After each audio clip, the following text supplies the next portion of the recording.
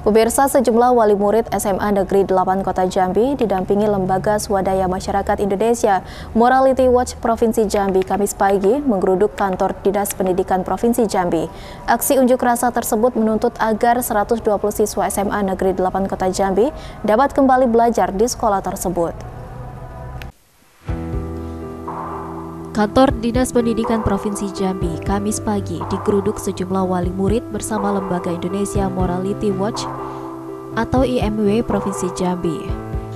Aksi unjuk rasa itu buntut dari persoalan yang menimpa para anak-anak mereka sebanyak 120 orang siswa di SMA Negeri 8 Kota Jambi yang tidak lagi bersekolah karena tidak terdaftar di Dapodik. Ini juga buntut dari persoalan dikeluarkan SK Gubernur Jambi tentang pemberhentian sementara penugasan Sugiono Kepala Sekolah SMA Negeri 8 Kota Jambi.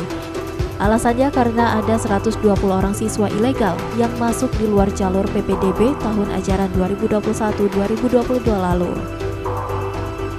Untuk diketahui, tuntutan dari aksi unjuk rasa itu adalah pertama meminta kepada Gubernur Jambi untuk memerintahkan kepala dinas agar operator Diknas membuka Dapodik SMA Negeri 8 Kota Jambi dan memasukkan 120 siswa-siswa itu didaftarkan di Dapodik sebagai siswa SMA Negeri 8 Kota Jambi. Selain itu, masa meminta kepada Gubernur Jambi mencabut surat keputusan atau SK untuk pemberhentian kepala sekolah SMA Negeri 8 Kota Jambi dan kembali tetap menjadi kepala sekolah SMA Negeri 8 Kota Jambi dengan nama baik.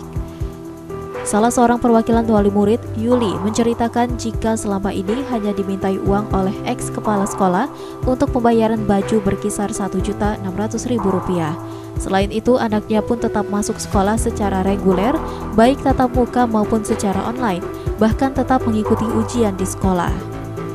Yuli menginginkan agar hak anaknya yakni data pokok pendidikan atau dapodiknya dikeluarkan oleh Dinas Pendidikan Provinsi Jambi agar bisa kembali sekolah. Siapa Bu? Saya langsung ke kepala sekolah. Langsung ke kepala Iya, sekolah? saya langsung ke kepala sekolah. Bu, mungkin di situ kita ada pembayaran di situ. Iya, saya hanya pembayaran baju. Oh, pembayaran baju Iya. berapa Bu? Satu enam. Satu enam. Itu Yang, pun masih sosok. yang lain nggak ada. Enggak ada.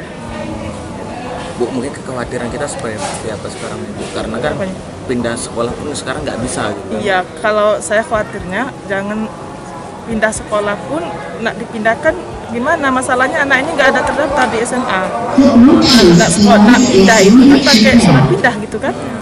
Nah jadi gimana? Itu saya bingung gitu. Nah yang penting sekarang ini anak saya diusahakan sekolah aja gitu. Saya cuman hanya nuntut an hak anak saya dapodiknya dikeluarkan itu aja.